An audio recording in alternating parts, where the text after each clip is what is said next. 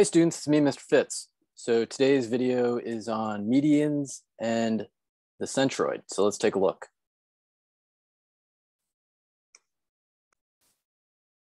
So here we have medians and the centroid. Um, sounds like a children's story. Once upon a time, there were three medians. Oh, here we go. Um, a median is a line segment connecting a triangle's vertex to the midpoint of the opposite side. So like, every definition has multiple terms in it, right? So it's like kind of crazy. So let's make sure we know everything that's in this definition. So a line segment is just part of a line. So for example, a side of a triangle. And a vertex is a point where two or more lines or two more line segments meet. So for example, this point here, vertex A is where sides AC and AB meet. Those are line segments. And what they're saying is that, so this vertex is gonna connect to the midpoint of the opposite side. So we need to find the midpoint, which would be the halfway point between C and B. So we could do that with a compass um, and find like the perpendicular bisector, or if we are doing this on paper or have some patty paper, you could fold it in half, or you could use a ruler and measure it and then find half the distance. A lot of different ways. So here's the midpoint, and I just labeled this point D, and that's our median. It's connecting the midpoint to the opposite vertex. So a triangle has actually three medians, um, so here's another one. Um, and here's the third one. So when you're constructing medians, if you did them correctly, they should all intersect at the same place. And what is this point called? The centroid. Um, that is one of the four triangle centers. So a triangle actually has four centers, which is kind of strange. Um, there's the centroid, the incenter, the circumcenter, and the orthocenter. So we're just going to focus on the centroid today. Um, later in the year, we'll maybe talk about some of those others. So here we go. Fun fact about the centroid is the centroid is actually the center of gravity of a triangle. So you can actually balance a triangle on a pencil and I'll show you how to do that later. So pretty cool. Um, so for those of you that are like into architecture or engineering, there you go. So let's get into some math, uh, numerical math, I should say.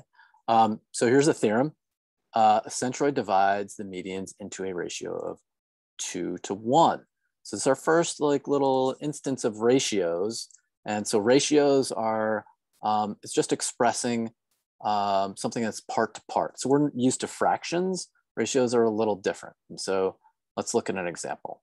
So for example, if I labeled this centroid point X, um, and if this length were 20, if this were in a ratio of two to one, that means the longer part of this is going to have two parts. The shorter part is going to be one, one part. So it could be like 20 to 10. Think about this though, like if there's two parts over here and one part over here, there's actually three parts in all.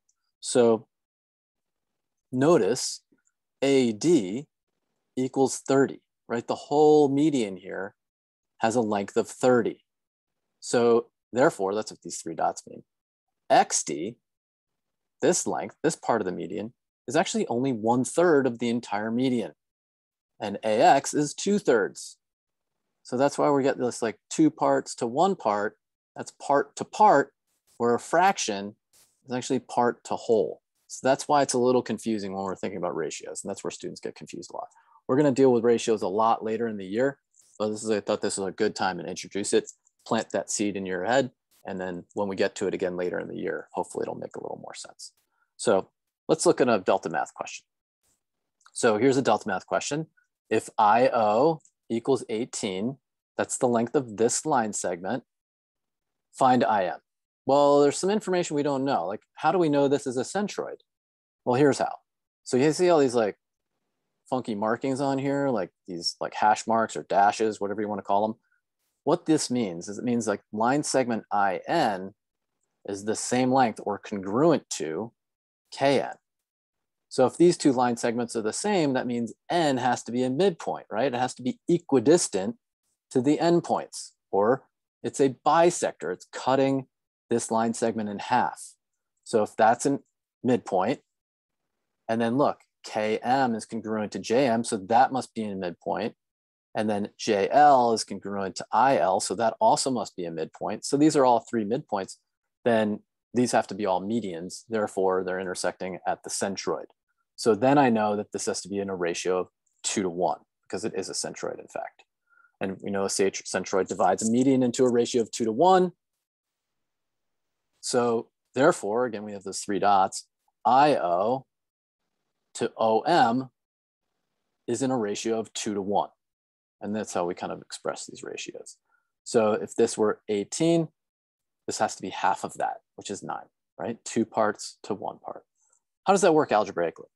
So I could think about this like making this X, and then I could say, all right, well, two to one equals 18 over some number X, and I'm looking for that number.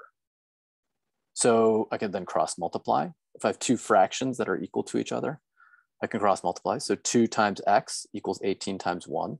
So 2X equals 18 divide both sides by two, and what do you end up with? X equals nine.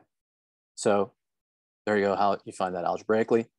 I haven't found the answer to this yet, right? Because IM is the length of the whole line segment.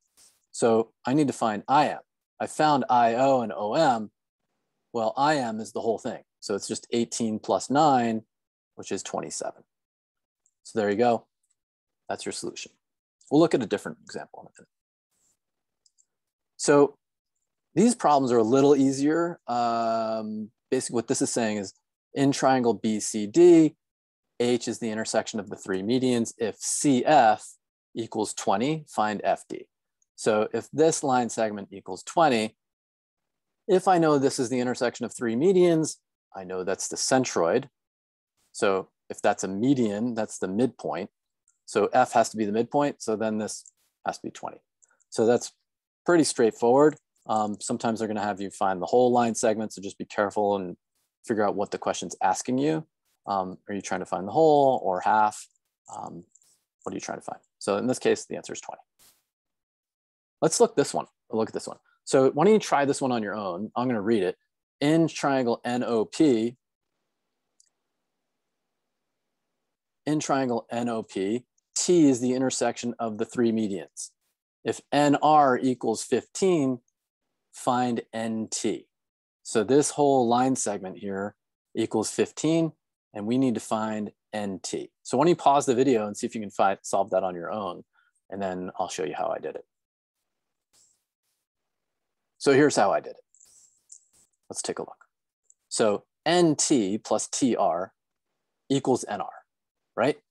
And I know that this is two parts to one part two parts here, one part here. So I have three parts in all, right? Well, I can think about this algebraically. If this is two parts to one part, well, it's kind of like 2x plus 1x. I'm just, I'm adding these two things together to find the whole, the three in all. So 2x plus 1x equals 15, because I know what NR is. So what's 2x plus 1x? That's just 3x. 3x equals 15 divide both sides by three, you end up with x equals five. But what that gives me, it just gives me what this is equal to, tr. That's just fit five. But I want nt, I want this line segment.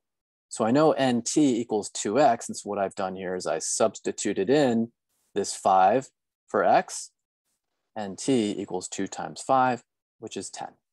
So that kind of makes sense, right? So this part here is 10, this part here is five, the whole thing is 15.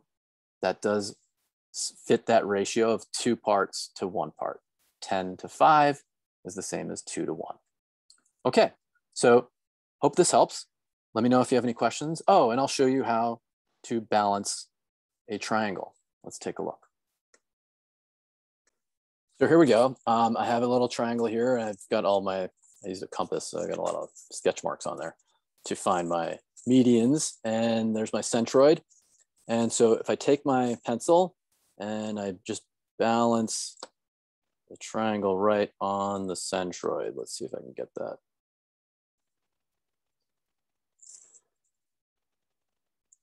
There we go. Ta-da. Oh, it's like magic. All right. so math magical. All right. Thanks for watching. And uh, please let me know if you have any questions.